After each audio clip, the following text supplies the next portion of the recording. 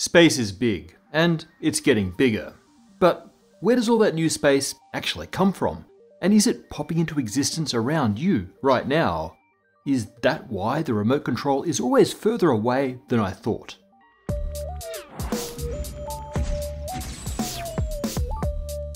Nearly 100 years ago, a collection of observations and theoretical ideas came together to reveal that the universe is expanding on the larger scales.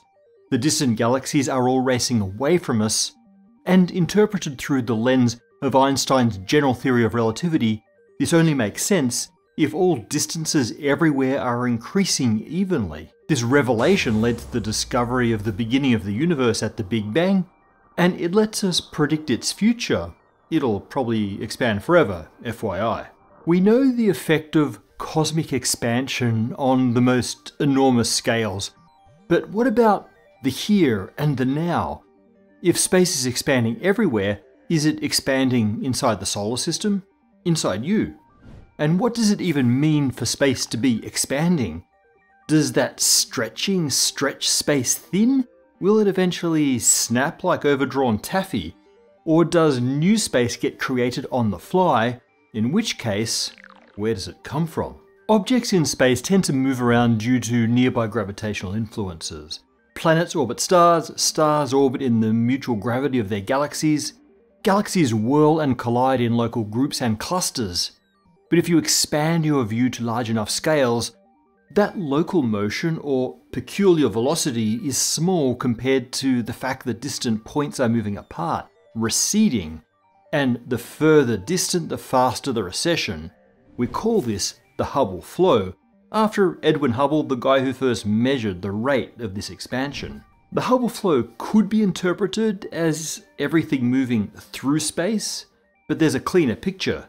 Soon after Einstein finished general relativity, four scientists independently solved its equations for the entire universe, giving us the Friedmann Lemaitre Robertson Walker, or FLRW, metric. You can think of a metric as the coordinate system of a patch of spacetime. Similar to how longitude and latitude are the coordinate system of the 2D surface of the Earth, a metric in general relativity is the coordinate system of a chunk of spacetime with three spatial and one temporal dimensions. And just as latitude and longitude describe the spherical geometry on the surface of the Earth, the FLRW metric gives the geometry or shape of the universe. The spatial part of that geometry would be the 3D analog of our surface of a sphere, which would be a space that loops back on itself in all directions. Or it could be an infinite plane, either flat or hyperbolic. These shapes can be thought of as 2D slices out of 3D spaces. But those 3D spaces are just slices out of 4D space-times, representing single instants in time.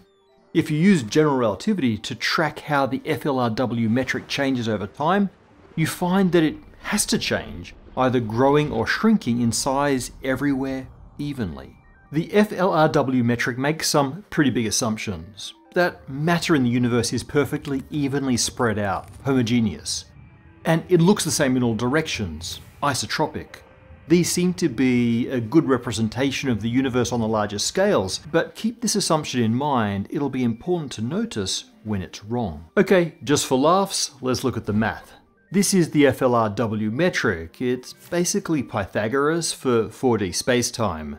The squared distance, in this case proper distance, between two points is the sum of the squares of the x, y, and z, but here adding the dimension of time. And this thing is the scale factor. It represents the overall size of the universe, and it's the thing that has to change. In our universe, it's getting bigger, when we say the universe or space is expanding, we mean that the scale factor is getting bigger. But what does that mean beyond the math? What is physically happening? There's a classic classroom representation of the expanding universe that's actually pretty useful here. Glue galaxies to a balloon and inflate. The galaxies recede from each other with apparent speeds that are proportional to distance. But the balloon analogy isn't even really an analogy. At any one instant, it's a fair representation of a 2D slice out of a closed universe, and its growth represents the increase in the scale factor over time. The FLRW metric, the coordinate grid of this hmm. slice, could be represented in spherical polar coordinates. In that case, it looks a lot like latitude and longitude. Those lines are smooth because of our founding assumptions of homogeneity and isotropy. But if we zoom in, we can see that the shape of the grid lines change. They pull towards massive objects like galaxies. In fact, the shape of spacetime around massive objects is not the FLRW metric because matter isn't spread out evenly. For example, near a massive compact object, the correct description of the spacetime is the Schwarzschild metric. The space in the Schwarzschild metric by itself does not expand. In fact, space is pulled inwards, pinched, and is completely static over time. But what about if it's embedded in a larger FLRW spacetime? Does the underlying expanding sphere fight against the inward pull of gravity? Is the space inside, say, a galaxy growing, but overcome by the gravitational attraction between the stars? The answer is no. Space within any gravitationally bound system is unaffected by the surrounding expansion. In the balloon analogy, it's tempting to think of the galaxy as being held together despite the expanding material that it's attached to, but that's not what's happening. The gravitational field isn't something that lies on top of the fabric of spacetime. The gravitational field is the fabric of spacetime. If the gravitational field of the galaxy is this static, inwardly pinched grid of the Schwarzschild metric, then that's it.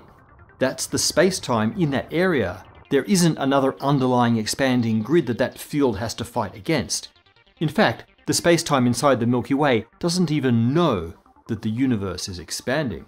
The other way the balloon analogy fails is that the fabric of space-time doesn't get stretched in the way the rubber gets stretched. It doesn't thin out and it doesn't build up tension in a way that can pull against these embedded static fields. It's as though the balloon adds more rubber as it inflates, always maintaining the same level of stretch. Let's try something else. Lose another dimension of space, so the universe becomes an expanding ring instead of a sphere, with grid points instead of grid lines. But then we can add the dimension of time into our picture so that the expanding ring traces a sort of cone and the points trace lines. This is nice because you can show the changing rate of expansion. Perhaps a period of rapid accelerating growth during inflation, then the expansion slows under the influence of gravity, then dark energy takes over and expansion accelerates again. The expansion of space is seen in the divergent of our FLRW coordinate grid lines. Now the distance between those lines represents the growing scale factor. Let's zoom in again. What does an individual galaxy look like? If the galaxy causes grid lines to be pulled together on a sphere, then on a ring it causes points to be pulled together, and they maintain that separation as the ring expands. So on our expanding cone, we see distant grid lines diverging, but nearby lines in a gravitational field will remain parallel. So there is no constant tug of war between the expanding universe and the gravitationally bound systems it contains. That tug of war did happen, but it happened a long time ago. In certain regions, expansion won, and threw apart objects and the space-time grids they trace. But in sufficiently dense regions, gravity won, and there the only evidence of the greater expansion comes from the receding view of distant galaxies. I told you that space doesn't get stretched out like rubber. In a sense, new space gets created as it expands. But what does that actually mean? Well, this is a tough one. In fact, an impossible one because we don't have an accepted theory for what the fabric of space is actually made out of, if it's made out of anything. That's the province of a long sought theory of quantum gravity, but let's see what we can say with what we know. In general relativity, space can be infinitely divided. That means we can start with a universe that's small and grid it up and watch it expand. Those grid lines diverge, but we can choose to regrid it at any point. What was once a millimeter might become a meter, and a meter becomes a kilometer, but we can just redefine everything and start over. We'll never run out of subdivisions. Similarly, we can take the universe of the present and define a grid of space or a grid of points on our 1D ring universe, and then rewind the universe, and every single one of those points traces a path back to the Big Bang. We can make the starting grid as fine as we like and get the same result. Every point in the modern universe can be traced back to a point at the Big Bang. This is related to the idea of geodesic completeness, which we've talked about before. All spacetime paths can be traced to the infinite future or past until they hit a singularity, like the Big Bang or a black hole. As the universe expands, we don't have new patches of space appearing between the old patches to fill out the universe. Geodesics don't just pop out of nowhere. This all works if space is infinitely divisible. But we know that on the smaller scales, general relativity comes into conflict with quantum mechanics. There is a smallest measurable length called the Planck length. When space expands, what happens to this smallest length? Does it expand too? Well, the Planck length stays the same. It's just defined as a combination of the gravitational constant, the Planck constant, and the speed of light. So if those aren't changing and there's no evidence that they do change, then the Planck length remains the same. But as the universe expands, it adds more and more of these Planck lengths, which must expand out of the old Planck lengths. That implies an infinitely divisible space emerging from each Planck length. This apparent conundrum is related to something called the trans-Planckian problem which is to do with how Hawking radiation seems to emerge from sub-Planck wavelength radiation at the event horizon of a black hole. Its solution takes us to the realm of the holographic principle, and so we can't go there today. But long story short, even with a quantized fabric of space, it's still possible to expand it or condense it infinitely without changing its fundamental nature. Empty space can be rescaled infinitely. And that's even true if empty space contains something, like dark energy. Empty space does have a very weak energy density, even in the absence of particles. As space expands, that density doesn't change. Remember, the balloon skin doesn't thin out. The result of this is that the total dark energy content of the universe depends on the amount of space in the universe, which means dark energy increases as the universe expands. But again, this will never have any effect inside bound gravitational systems. Its effect only manifests when there's an enormous amount of empty space compared to the amount of matter. But the ratio of empty space to matter inside galaxies does not change. Now, if the level of dark energy per unit volume were to increase, that would be a different matter, and we talked about the resulting cataclysm in our episode on the Big Rip. So, there's your answer. The infinite rescalability of space means the universe can and probably will expand forever with no effect on this little bubble of relatively static space that we call the Milky Way. Well, except for permanently isolating our bubble from all of the other bubbles.